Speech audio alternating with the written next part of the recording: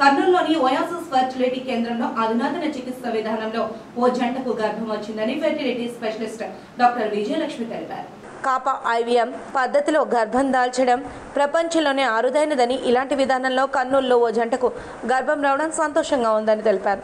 ఈ కొత్త విధానంలో చికిత్స తక్కువ ఖర్చుతో అందించడం జరిగిందన్నారు. ఈ విధంగా చికిత్స అందించడంలో ఎలాంటి దుష్ప్రభావాలు లేవన్నారు. సిఏ పిఏ ఐవీఎం విధానంలో చికిత్సను ప్రపంచంలోని తక్కువ ఫెర్టిలిటీ కేంద్రాల్లో అందిస్తున్నారని తెలిపారు. ఇది నార్మల్ అవునండి. నార్మల్ ఏఆర్టీ బిల్ మనకు కొత్తగా వచ్చిందండి. ART bill. ఆ లేటెస్ట్ ఏఆర్టీ బిల్ ప్రకారం ఆడవాళ్ళలో అయితే twenty one years minimum age maximum age ఆడవాళ్ళలో ఫిఫ్టీ ఇయర్స్.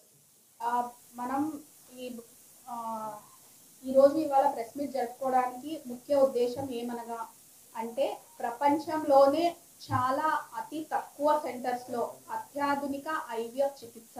దీన్ని కేపా ఐవీఎం అని అంటారు. అంటే కెపాసిటేషన్ ఇన్విట్రో మెచ్యురేషన్ అనే ట్రీట్మెంట్ సో అలాంటి ట్రీట్మెంట్ని ఇప్పుడు మన రాయలసీమలో ఆంధ్రాలోనే ఆంధ్రప్రదేశ్లోనే మొట్టమొదటి కేసు మన రాయలసీమ ప్రాంతంలో కర్నూలు జిల్లాలో ఒక జంట గర్భం దాల్చిందండి. అది మనకు చాలా గర్వకారణం రాయలసీమ ప్రజలకు. సో ఈ కేపా ఐవిఎం టెక్నాలజీ అనేది ఏంటంటే మనం నార్మల్గా IVF ట్రీట్మెంట్లో ten to twelve days injections ఇచ్చి ఎగ్స్ని టూ సెంటీమీటర్ సైజ్ వచ్చాక అవి మనం బయటికి తీసి వాటిలో ఒక్కొక్క ఎగ్లో ఒక్కొక్క స్పర్మ్ని గుచ్చి దాన్ని పిండంలాగా తయారు చేసి ఆ పిండాన్ని గర్భంలో పెట్టడం జరుగుతుంది. ఇది సర్వసాధారణంగా జరిగే ఐవిఎఫ్ టెక్నాలజీ.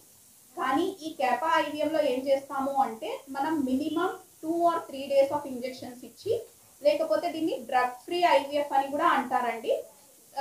ఎలా అంటే గిన మనం అసలు ఏం ఇంజెక్షన్స్ ఇవ్వకుండా కూడా మనకు egg size less than one centimetre అంటే వన్ సెంటీమీటర్ అంటే మీకు తెలుసు కదండి ఎంత చిన్నగా ఉంటుందో. ఆ చిన్న సైజులో ఉన్నప్పుడే మనము అండాశయాల్లో ఉండే ఫాలికల్స్ని ఎగ్స్ని బయటికి తీసి వాటిని మనం బయటనే పెద్దగా చేసుకుంటాం. అంటే మెచ్యూర్ చేసుకుంటాం వాటిని. దాన్నే ఇన్విట్రో అంటే బయట అవుట్ సైడ్ మెచ్యూర్ చేసుకోవడాన్ని. దాన్ని ఇన్విట్రో మెచ్యురేషన్ అని అంటారు.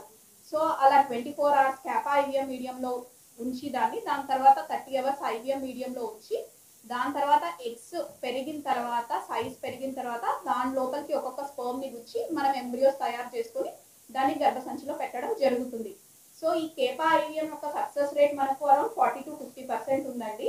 మనం నార్మల్ ఐవీఎఫ్లో చూసుకున్నా కూడా around forty to fifty percent ఉంది. అదే ఎంబ్రియోస్ని ఫ్రీజ్ చేసి తర్వాత ట్రాన్స్ఫర్ చేసుకున్నామంటే ఫ్రోజన్ ఎంబ్రియోస్ సక్సెస్ రేట్ మనకు around sixty to seventy percent ఉంది మనకు. సో ఈ కేపా ఐవిఎం ఈ జంట గురించి చెప్తే మనం ఓ జంట మా దగ్గరికి పీసీఓఎస్ సమస్యతో బాధపడుతూ వచ్చింది. సో వాళ్ళల్లో మేము పరిశీలించి చూడగా ఏంటంటే వాళ్ళలో ఎగ్స్ అనేవి పెరగకుండా ఉన్నాయి. సో అందుకు మేము వాళ్ళకి లాప్రోస్కోపిక్ ఒవేరియన్ డ్రిల్లింగ్ బయట సజెస్ట్ చేశారు. కానీ మేడం లాప్రోస్కోపిక్ ఒవేరియన్ డ్రిల్లింగ్ అవ్వకుండా ఇంకేమైనా లేటెస్ట్ టెక్నాలజీ ఉందా అని సంప్రదించారు. సో అప్పుడు మేము ఈ అడ్వాన్స్ టెక్నాలజీ గురించి చెప్పాం వాళ్ళకు. సో ఈ ట్రీట్మెంట్ ఇవ్వడం జరిగింది. వాళ్ళు గర్భం దాల్చారు. అది చాలా సంతోషకరమైన విషయం. మరీ మరీ చెప్తున్నాను ఇది ఆంధ్రప్రదేశ్లోనే మొట్టమొదటి కేసు మనకు పాజిటివ్ రావడము. అండ్ ప్రపంచంలోనే చాలా కొన్ని సెంటర్స్లో ఉంది ఈ కేపా ఐవిఎం. అది మన ఓయాసిస్ మన భారతదేశంలో ఓయాసిస్ ఫర్టిలిటీ సెంటర్ సెంటర్లో ఈ కేపా ఐవిఎం టెక్నాలజీ అనేది అవైలబుల్గా ఉంది.